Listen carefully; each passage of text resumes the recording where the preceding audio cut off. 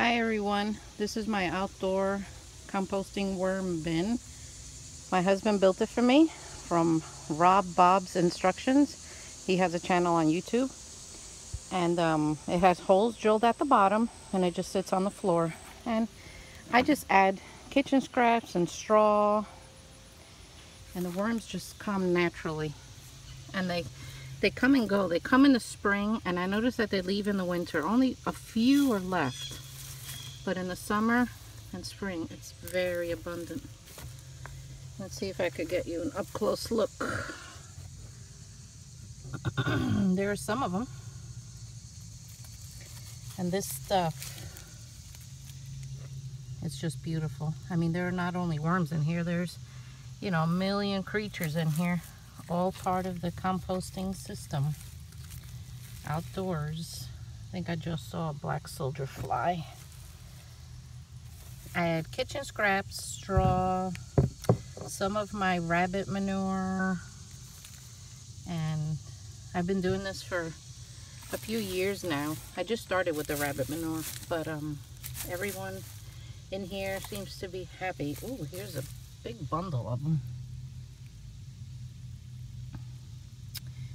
Now, I'm assuming they're red wigglers. I don't know. They just come and go. And I'm okay with that. Here's another big mass. Now this fall, I'll scoop this all out. I'll lay it on all my beds.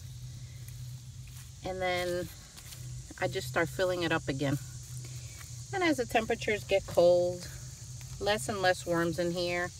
Most of them disappear. I think they just go back down. Some of them will, will hang around. They're brave enough. Um, but I love this idea. It, it's just so easy. Now my indoor worm bins, you know, my worm factory and the other one, I have to harvest those, you know, by hand a little different. But out here, this is like very simple. Oh, a cricket. So this is way I do it. And I just, I, I wet it once in a while just to moisten things up. It'll be getting a lot of leaves in the fall because uh, my garden is on the edge of a forest and of course I get a lot of leaves. So that's what we do. Super easy, provides a lot. Now I'll take that out and I'll lay it all over here where I plant. See all my beds all over there. We've had so much rain that the weeds are just, they're crazy. But what are we going to do?